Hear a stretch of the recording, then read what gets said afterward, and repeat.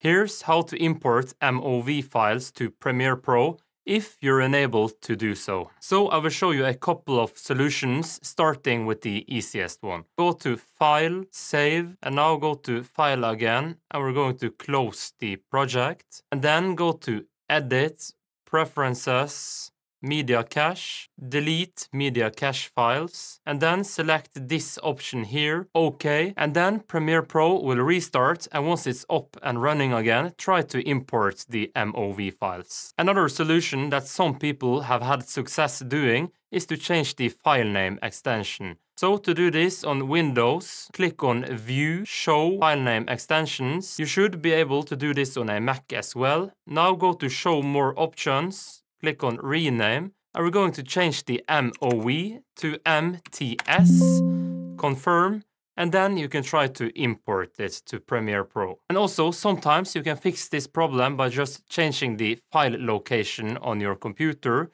or if you have multiple drives, try changing to another drive. If none of these solutions works, then your file is probably corrupt, or the codec inside the MOV may not be supported by Premiere Pro. Luckily, this is pretty easy to fix, so we're just going to transcode the file. And to do this, I'm going to use the Shutter encoder. It's free, link to it in the description. Now just go ahead and drag it on top of the encoder like this. Then under choose function, we're going to pick Apple ProRes or if you want to save a bit of space, you can go ahead and choose the H.264. But I will choose this one. And then I will set this to LT and click on Start function. Once it's finished, you can try to import it to Premiere Pro and you can see now it's working fine. Give this video a thumbs up if it was helpful and thanks for watching.